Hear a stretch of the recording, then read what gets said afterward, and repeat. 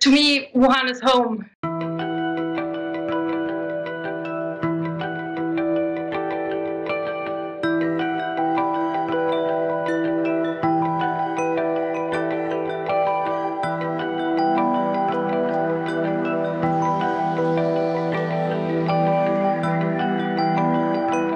Yes, absolutely. I want to return to Wuhan. I miss everything. I miss food. I miss my bicycle, which is waiting for me. I um, I I miss the scenery. I um, miss my friends. I miss my colleagues. I miss students. Um, I I loved working with students in China. I um, we had done a lot of planning and I was really looking forward to going back um, and starting teaching because my work previously was quite different from what I will be doing in the future. Um, so I, I, to me, Wuhan is home.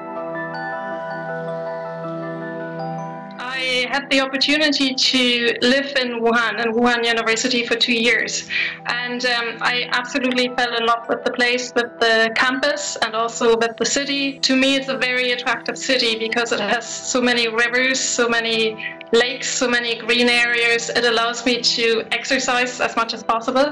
Um, I love walking around the city. I love um, cycling around the city. And um, I, I love the life there. I love everything in Wuhan. Am surprised and I'm not surprised. Um, I I have seen things happening in China that I haven't seen anywhere else in the world. Um, the speed at which uh, buildings are constructed, the speed at which um, roads are repaved, at um, whole neighborhoods being uh, renovated.